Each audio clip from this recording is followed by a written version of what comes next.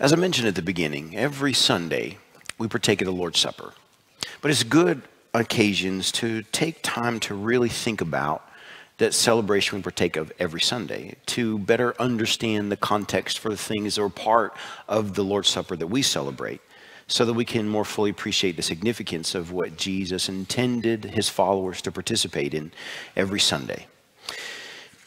And as we think about what Jesus was doing with the Passover meal, taking the idea of Israel's exodus from Egypt and their entrance into a covenant with God, and to use that to signal a new exodus that God was causing to take place in the world through him, and a new covenant to which he was giving to those people through him.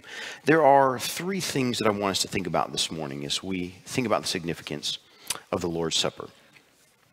The first is that communion reminds us of God's agenda for humanity, his big picture agenda. God's plan has always been to draw rebellious people back to him, to restore the relationship with him that he created them to have. Israel in the Old Testament was a vehicle through which God intended to reveal himself to the world, to attract the world to him. And that agenda escalates in the church.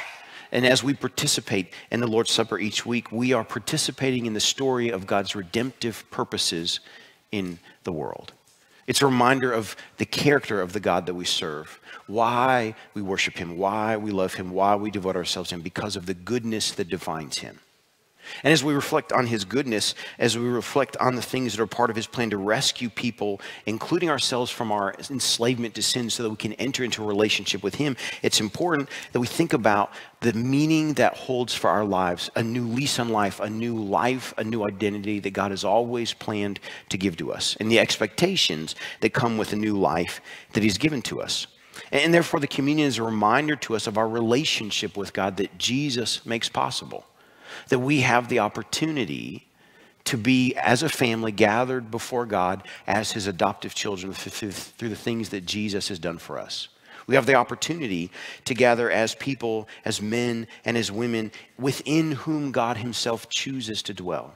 It's a unique distinction that God gives to humanity that allows us to live in this world as his representatives, as people who declare his good identity and his good will in the world. That means then the community should remind us of who we are and who we should be, about God's plan for us throughout history, about who He's allowed us to become in our present, and the expectations that come with that. Participating in the Lord's Supper is a reminder not only of who God allows us to be, but who we should be day to day. About how, when we leave the building, we're in our workplaces, we're in our homes, we're out and about in our communities, that we are conscious of what Jesus has done for us, of his life, of his death, of his resurrection. We understand the, the exodus that he's given to us out from our sin ruled lives into a new covenant relationship with God. And we are aware of the expectations that attend that life.